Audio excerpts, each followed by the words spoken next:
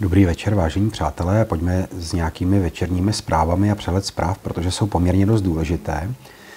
Určitě si vzpomínáte na to, že jsem tady dneska v jedné zprávě hovořil o platební neschopnosti, která hrozí Ruské federaci tím, že jsou na ní uvolené sankce a má blokované platby ještě zhruba, ta splátka činí nějakých 100 milionů, je to tak, 100 milionů dolarů a oni vlastně udělali dvě platby a teď jim dali sankci, že to nemohou platit a vlastně zablokovali jim ten účet, e, převod kuponu, je to trošku složitější a vysvětlovat to tady by byla otázka tak 10-15 minut a to není předmětem té zprávy.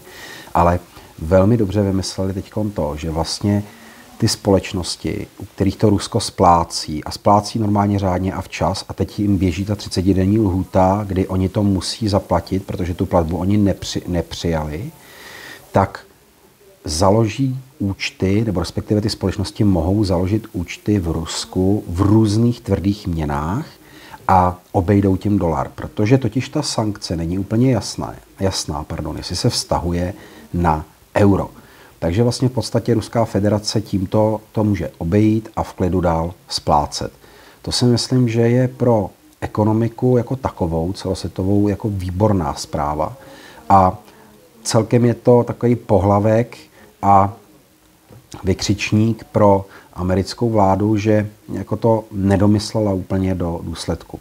Další zpráva, která je, tak Sergej Lavrov prohlásil, že Putin je zcela zdrav a že to všechno, co se tvrdí, tak jsou spekulace a není to pravda. Že nemá ani rakovinu slinivky břišní, ani žádnou jinou nemoc, nepodstoupil žádnou operaci a jenom je prostě fyzicky eh, vyčerpaný. Takže to jsem zvědavý, jak tady to se bude vyvíjet. Další zpráva, která je, tak ta je ze Švýcarska, ale týká se České republiky, protože miliardář Vítek propouští pracovníky ve Švýcarsku a nějakým způsobem tam diverzifikuje směrem dolů své portfolio. Kontra to vyšla zpráva teď od několika ekonomů, že lidé nemají držet peníze doma v hotovosti ve vyšších částkách, protože oni přicházejí a stejně taky nemají mít na eh, čistě spořících účtech. To je docela zajímavé, to by mě zajímalo, kde se ti ekonomové inspirovali a koho asi tak poslouchali, že takovouhle zprávu teď vydali. To jsou docela jako zajímavé věci. Přátelé, já vám přeji, abyste měli krásný večer, hlavně dobrou a klidnou noc a doufám, že se ráno ve zdraví všichni uvidíme. Mějte se krásně.